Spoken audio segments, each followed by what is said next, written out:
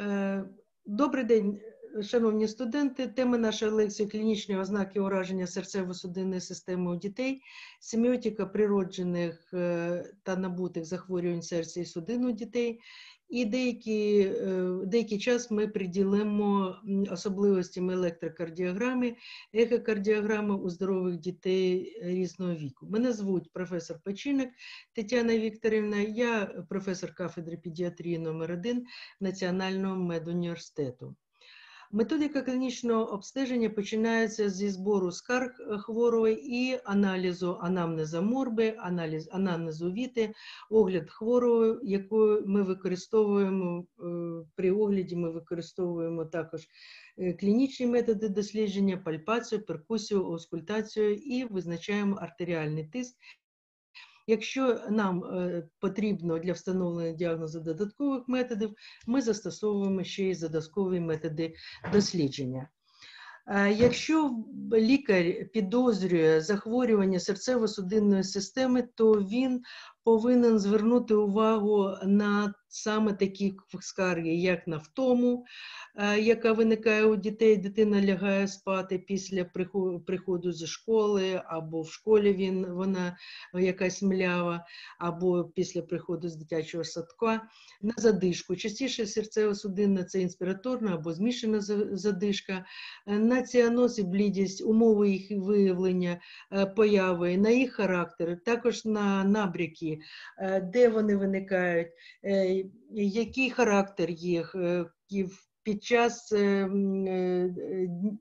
денний або нічні набряки.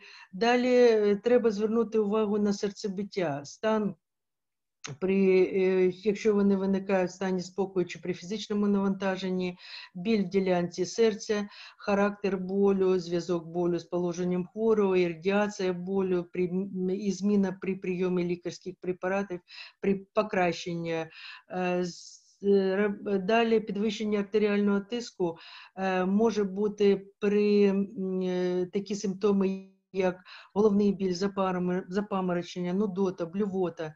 І е, може бути зниження артеріального тиску, так е, теж з раптовою втратою свідомості, з колапсом. Обов'язково звертаємо увагу на затримку фізичного розвитку.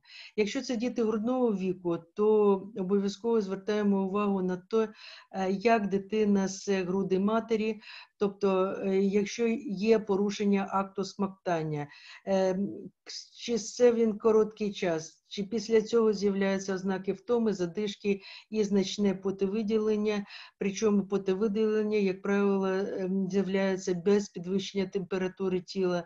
Звертаємо увагу дітей грудного віку на ціаноз блідість шкірних покровів і наявність задишково-ціанетичних нападів. При аналізі анамнеза морбі ми повинні перш за все е, звернути увагу на те, коли почалося захворювання, динаміка хвороби е, клінічних проявів, додаткові симптоми, які з'явились під час е, перебігу захворювання, де дитина е, лікувалася, які ліки приймала, тривалість прийому, ефективність, е, де обстежувалась дитина, і обов'язково проаналізувати результати досліджень і порівняти їх в динаміці. Ви з попередньої лекції пам'ятаєте, що патологія серцево-судинної системи може бути вродженого і набутого генезу. Так от, е, якщо ми підозрюємо, що це вродженого генезу, і обов'язково треба зібрати акушерський, ретельний акушерський анамнез мами і виявити, чи були гістози, чи були нефропатії, чи перенес, перенесла вона торч-інфекція або інші інфекції, чи були шкідливі ем, е, професійні шкідливі, шкідливості е, у мами і так далі. При зборі індивідуального анамнезу ми звертаємо увагу на розвиток дитини, які, якими інфекціями він е, хворів, е, чи були часті гострі респіраторно-вірусні інфекції, чи були, чи є вогнища хронічної інфекції, і як перебігала вакцинаційний процес. І сімейного анамнезу треба звернути увагу на захворюваність. е, серцево-судинної системи в родині, на схильність до ревматизму, дифузних хвороб сполучної тканини. І обов'язково е, е, звернути увагу на матеріально-побутові умови дитини, а саме культурний, соціальний е, рівень і наявність пасивного активного паління в родині. При загальному огляді дитині ми звертаємо увагу на свідомість, важкість стану, реакцію на оточення, положення в ліжку.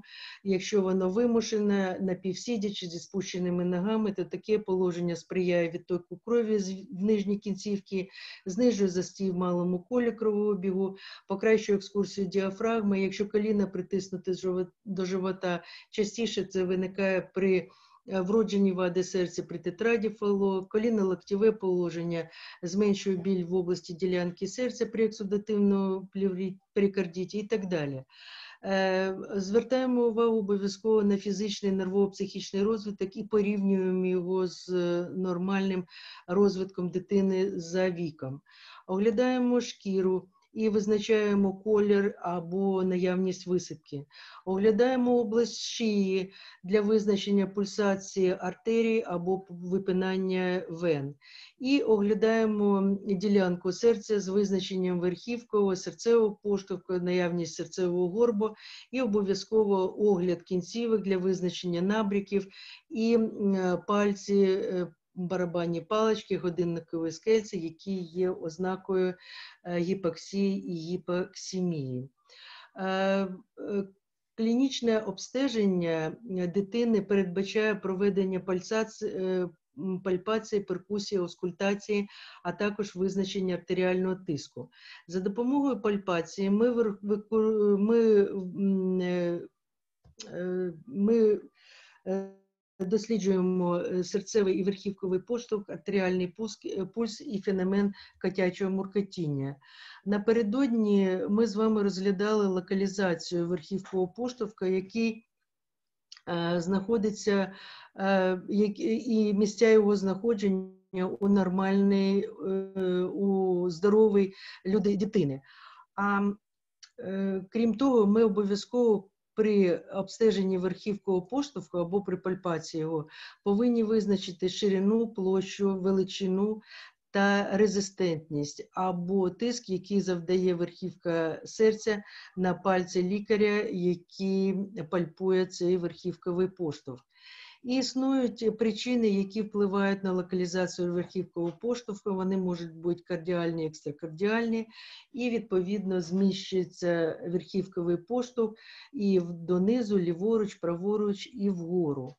Серцевий поштовх це удар по грудній клітці, в основному е, м, шлуночкам серця, і за допомогою пальпації ми визначаємо поширеність його і силу або резистентність це тиск, який завдає серця на пальці або руку лікаря.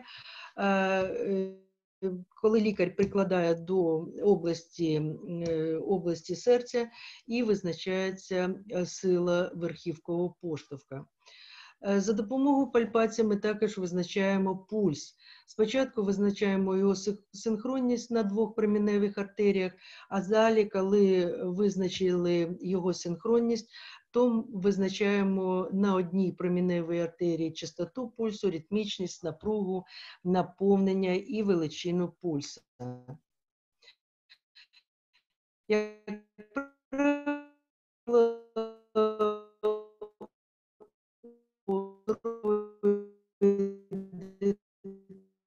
дитини частота пульсу відповідає частоти з подальшим практичній діяльності.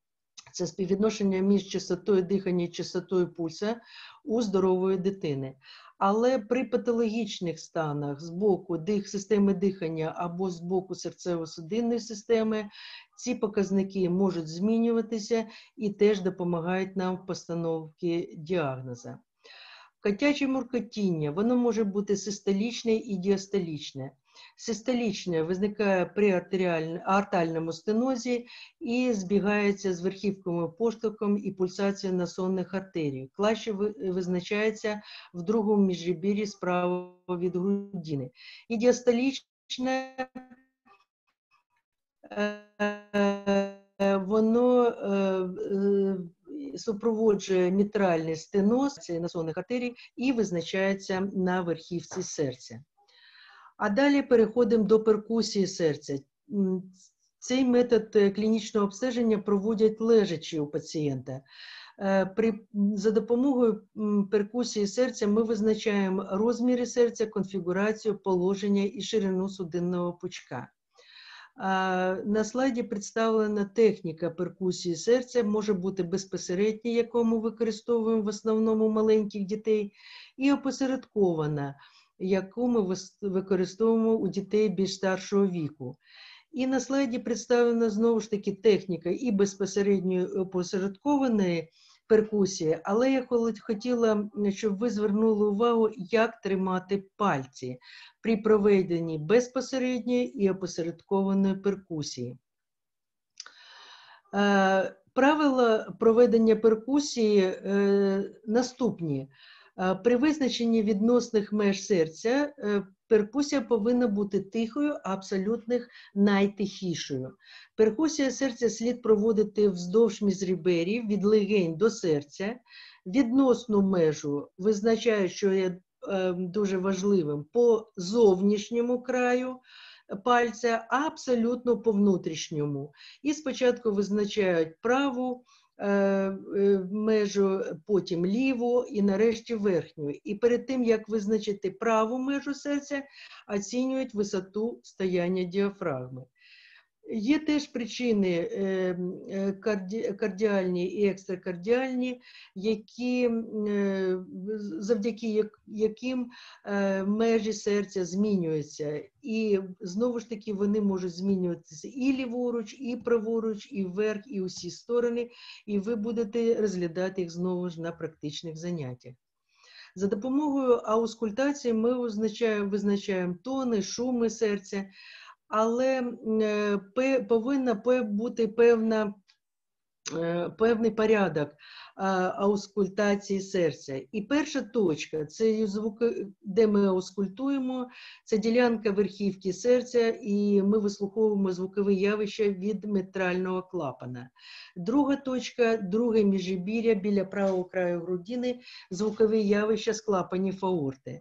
Третя точка друге міжібір'я біля лівого краю грудини, звукове явище з клапанів легеневої артерії, четверта нижня третина грудини на основі прикріплення мечоподібного е, відростку, трохи праворуч від середньоключичної грудинної лінії. Це звукові явища з е, тристолкового клапана. І п'ята точка це точка Боткіна Науніна Ерба. Ця точка утворюється при е, перехресті лівого краю грудини з лінією, що проводиться від другого міжібір'я справа від грудини до верхівки серця, від звукове явище від всіх клапанів серця. І на даному слайді представлені клапани серця, і е, ви бачите, е, ну, от представлена верхівка серця, де вислуховується артальний клапан, і порядок вислуховування клапанів серця ще раз представлено на даному слайді. За допомогою аускультації ми вислуховуємо тони серця. Перший тон він ем, має клапанний компонент, він більш потужний і м'язовий компонент. Він завжди систолічний. Другий тон він діастолічний і він має тільки клапанний компонент.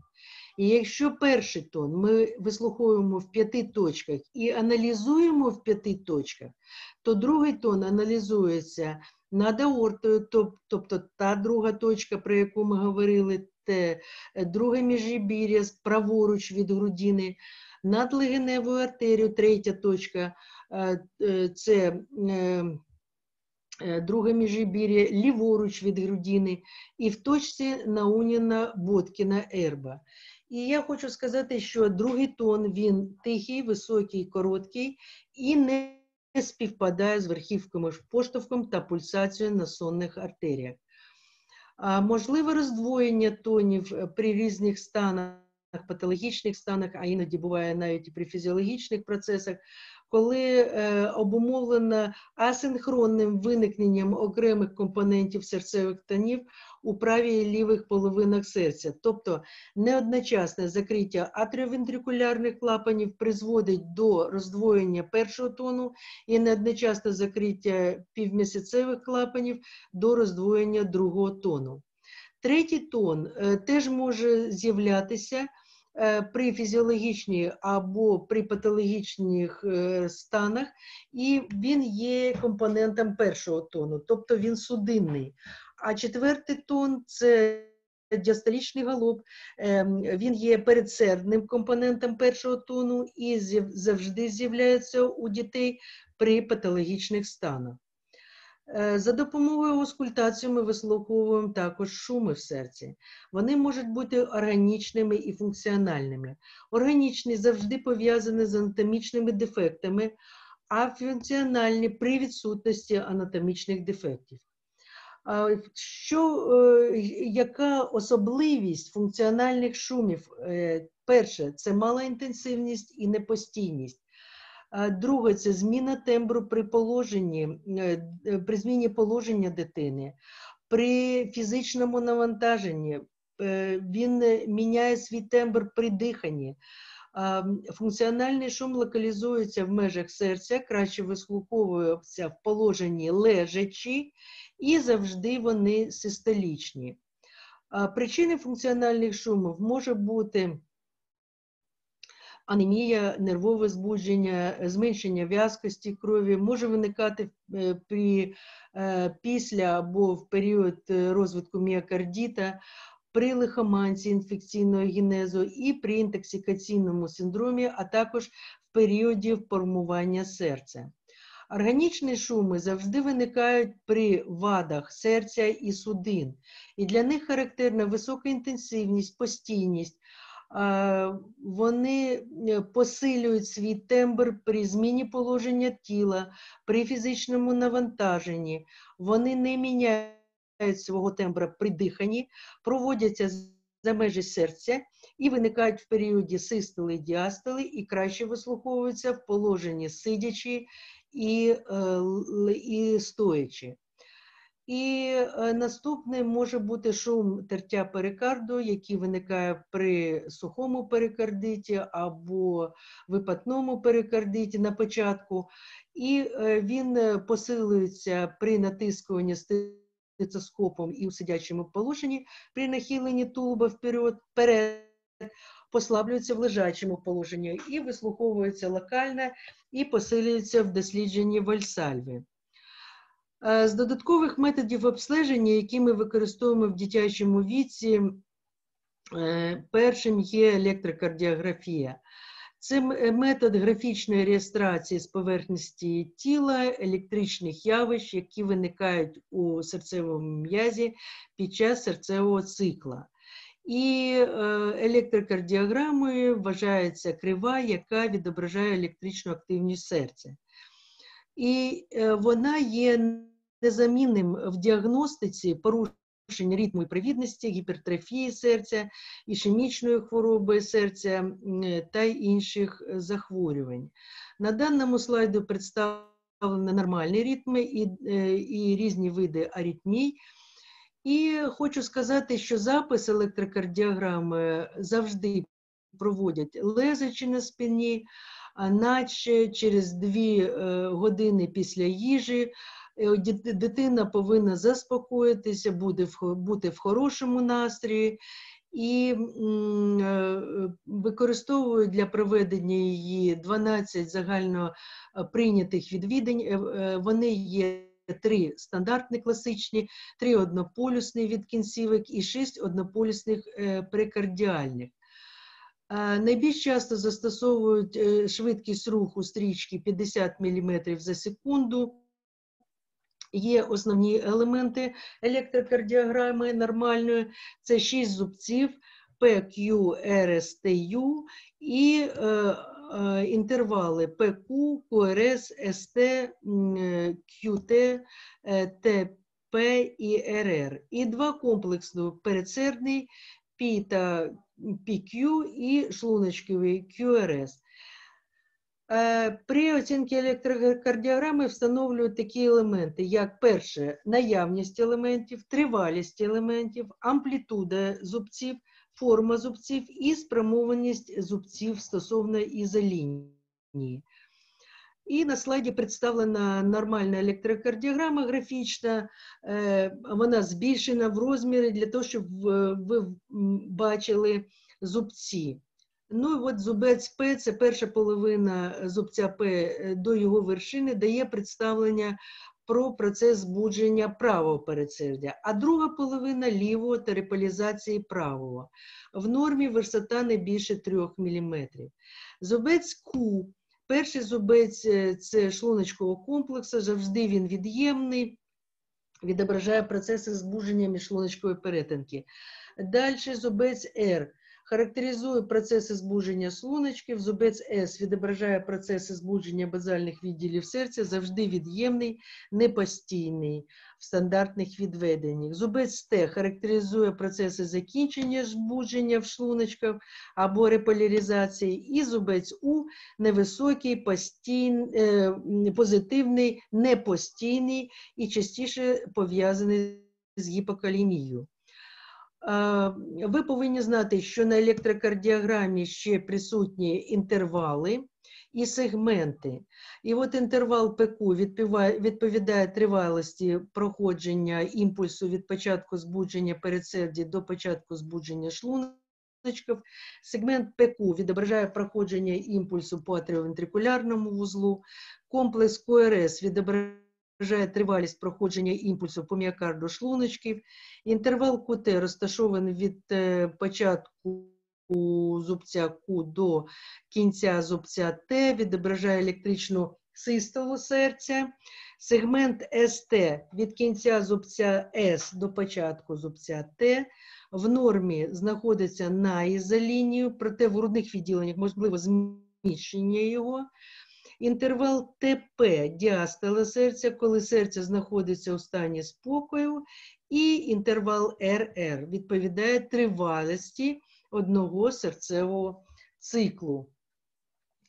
І я е, хочу сказати, що, е, перш, по-перше, зробіть скріншот е, даного слайда, тому що е, з минулої лекції ви, ми з вами на минулій лекції ми з вами розглядали анатомо-фізіологічні особливості серця, і серце розвивається в динаміці.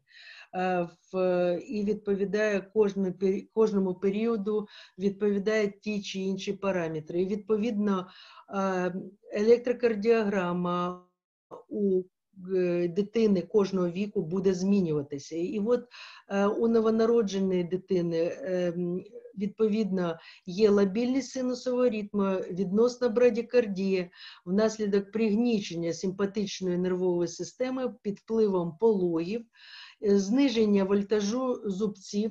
І для того, щоб не зупинятися на величині зубців, на величині е, е, на величині ем, е, е, ім- імпульсів, то ми е, не, значить, не розглядаємо ці, е, е, ці показники, а ви робите скріншот у новонародженої дитини, у дітей грудного віку, е, далі у дітей раннього віку, у дітей дошкільного віку і дітей шкільного віку, коли електрокардіограма наближається до кардіограми дорослої людини. Наступним методом обстеження є ехокардіографія, е, коли ми визначаємо морфологію серця та магістральний судин. За допомогою ехокардіографії можна визначити кінетику серця, стан гемодинаміки і діагностики патології перикарду, клапанного апарата, можна визначити легеневу гіпертензію, визначити параметри серцевих камер, е, стан і функціональна здатність клапанів, е, і е, стан стінок судин, і інтенсивність і напрямок кровотоку. Показання для проведення екокардіографії представлено на слайді. Це і шуми, і діагностика і набутих і при- вроджених вад серця, і біль в ділянці серця, якщо дитина скаржиться, і наявність артеріальної гіпертензії, і кардіоміопатія, і порушення ритму, і серцева недостатність і так далі. Е, Знову ж таки, є показники норми. Е, Вони завжди представлені в таблицях, і якщо ви будете працювати, а саме будете ультразвуковістами, то ви будете мати ці е, показники. Вони е, різняться е, відповідно віку.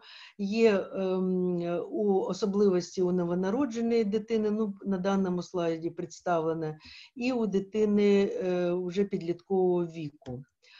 Е, Наступним методом обстеження є ультразвукове дослідження судин, яке дозволяє е, проводити е, дуплексне сканування судин, і називається цей метод е, доплерографія судин. Е, Рентгенографічне дослідження теж допомагає нам в постановці діагнозу. Ми можемо бачити легеневий малюнок, можемо бачити форму серця, вибух, випинання судин, і теж це нам допомагає в діагностиці е, серцево-судинної патології. Одним із методів рентгенографії є пошарова рентгенографія, вона називається томографія, і е, ми її теж застосовуємо для визначення об'ємів е, порожнин серця, великих судин, для визначення звапнення клапанів серця, чи воно є, чи немає, аневризм слуночків і різних зрощень. І за допомогою кардіографії, ангіокардіографії, е, коли ми за допомогою контрасту можемо визначити різні оклюзійні ураження судин і е, теж досліджуємо порожнини серця і великі судини. І на даному слайді представлена коронарографія е, з контрастом. Ми бачимо оклюзію у людини, яка має навіть, скоріш за все, ішемічну хворобу серця. Одним із методів дослідження є холтерівське моніторування. Е, Це метод обстеження дає можливість безперервного спостереження за діяльністю серця, не тільки е, за допомогою визначення електрокардіограм, але і є такі е, холтерівське моніторування, яке ще додає і визначення артеріального тиску. Методи синцеграфічного дослідження за допомогою гамма-камери визначаються радіонуклідні динамічні методи і можна використовувати радіонуклідні статичні методи, е, коли е, статичні базуються на здатності здорового міокарду активно накопичувати е, ізотопи. А Газовий склад е, крові в основному ми використовуємо е, в відділенні реанімації при набутих вадах серця, при е, недостатності кровообігу для визначення вмісту кисню і вуглекислого газу в венозній або артеріальній крові. І теж нам допомагає визначити стан стан е, серцево-судинної системи. Ну і одним із методів функціонального, функціональні методи діагностики серцево-судинної системи є велоаргометрія, яка або е, ходьба на тредмілі, яка допомагає теж визначити функціональний стан серцево-судинної системи. Декілька слів про семіотику захворювань серцево-судинної системи. Ми коснулися напередодні на ті на, е, напередодні ми коснулися про вроджені вади серця. А сьогодні ми розглянемо гостру ревматичну лихоманку вкратці і хронічна ревматична хвороба серця. Гостра ревматична лихоманка є ускладненням назофарингіту або тензиліту, які викликані бета-гемолітичним стрептококом групи А, і е, вони виникають внаслідок аутоімунної відповіді на стрептококу інфекцію. А от хронічна ревматична хвороба серця є результат вже перенесеної гострої ревматичної лимфоманки з формуванням вади серця в результаті запалення і розвитку фіброзу, склерозу в сполучній тканині клапанів, а також сублобу, головного мозку та шкірі. Е, Розвиток гострої ревматичної лихоманки тісно пов'язаний з бета-гемолітичним стрептококом групи А. Існує міжнародна класифікація хвороб 10-го перегляду, і гостра ревматична лихоманка знаходиться під кодом 100-102. І е, існують критерії Джонса для діагностики першої або рекурентних атак гострої ревматичної лихоманки, адаптовані е, в 2015 році. Е, Відповідно до критеріїв Джонса існують великі критерії, малі і додаткові. До великих критеріїв належать кардит, поліартрит, хорея, кільцеподібна еритема, підшкірні вузлики. Малі критерії поділяються на клінічні і лабораторні. До клінічних належать артралгія і лихоманка, лабораторні підвищення реактантів гострої фази е, і подовжений інтервал ПР на електрокардіограмі. І додаткові це підвищені титри антистептококових антитил, позитивний посів горла або швидкий тест на стрептококовий антиген. І критерії Джонса полягають в тому, що якщо дитина знаходиться в оточенні, де є малий ризик розв- розвитку гострої ревматичної лихоманки, то тоді наявність двох великих або одного великого і двох малих критеріїв у сполученні з даними, які підтверджують попередню інфекцію, викликану стрептококами групи А, свідчить про велику можливість гострої ревматичної лихоманки. Якщо дитина знаходиться в оточенні з високим ризиком розвитку гострої ревматичної лихоманки або середнім, то наявність трьох малих критеріїв та даних, що підтверджують перенесену інфекцію, що викликано бета-гемолітичним стрептококом групи А, свідчить про високу вірогідність гострої ревматичної лихоманки. Захворювання серцевого м'яза. Ну, перш за все, це міокардит, е, в основі яких е, лежить запальний процес міокарді. Далі міокардіозастрофія, захворювання, що викликають у дітей вторинно при гострих хронічних інфекційно-запальних захворюваннях, е, при дефіцитних станах, яких, як, таких як гіпотрофія, паратрофія, гіповітамінози і так далі, і кардіоміопатії, хвороби, що пов'язані з різними етіологічними факторами, вірусними, імунологічними і так далі. Е, Гострий міокардит це запальне захворювання серця, в якому в патологічний процес залучається міокард. Етіологія поліетіологічна, є інфекційні агенти, які можуть викликати е, це захворювання, і неінфекційні, як аутоімунні, алергія, токсини та інші. Діагностичні критерії відповідно до Американської асоціації кардіологів складаються в тому, що зв'язок повинен бути з інфекцією або не з інфекційними агентами. Далі розвивається аритмія синусова, збільшення розмірів серця, відбувається послаблення першого тону, з'являється третій, четвертий тон, е, відмічається серцева недостатність, е, зміни є на електрокардіограми, е, відмічається підвищення активності сироватківих ферментів і обов'язкове підвищення е, BNP пептиду. І кардіоміопатія це захворювання міокарду невідомої етіології.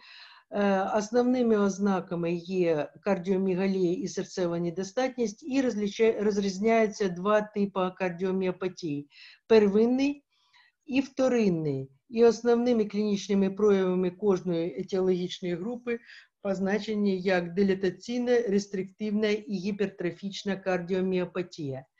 Е, Первинні кардіоміопатії, до них належать ідіопатичні кардіоміопатії, сімейні кардіоміопатії, езінофільне ендоміокардіальне захворювання і ендоміокардіальний фіброз.